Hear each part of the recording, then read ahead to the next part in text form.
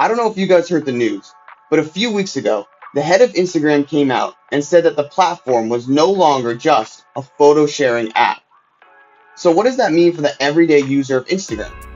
First off, you can expect to see not only the people you're following in your feed, but also people and things that Instagram is recommending for you. Second, you'll notice more of an emphasis on immersive full screen video, such as Reels. As we go forward and adjust to these changes, it'll be interesting to see how the platform of Instagram evolves into a TikTok clone or if they're just making Facebook esque tweaks. Let me know how you guys are adjusting to the updates, and I'll talk to you soon.